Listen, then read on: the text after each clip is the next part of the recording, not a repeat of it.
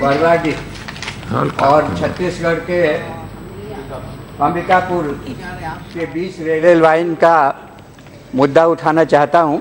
ये करीब नौ दशक पुराना रेलवे लाइन का प्रस्ताव है जो अंग्रेज़ों के ज़माने का है।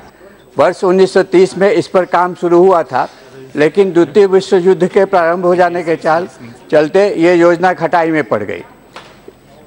केंद्रीय सरकार ने इस योजना की स्वीकृति प्रदान की है। और पाँच sir just minute sir I don't get an opportunity to speak sir let me speak two three lines more इसके बाद से पाँच करोड़ रुपया की स्वीकृति दी गई है। झारखंड ज़िले के अंतर्गत बरगर नौकी बिंदा पारो हुटार और बेरोड स्टेशन है। अर्थवर्क का काम किया जा चुका है। लैंड एक्विजिशन किया जा चुका है। राशि का प्रबंध के चलते ये योजना अभी नहीं पूरी हो पा रही है। Right. केंद्र सरकार और छत्तीसगढ़ सरकार और झारखंड सरकार के बीच राशि का प्रबंध किया जाना है। मेरा आपके माध्यम से मंत्री महोदय Right. से निवेदन है कि राशि का प्रबंध करा करके शीघ्र इस योजना को पूरा कराने का कष्ट करें।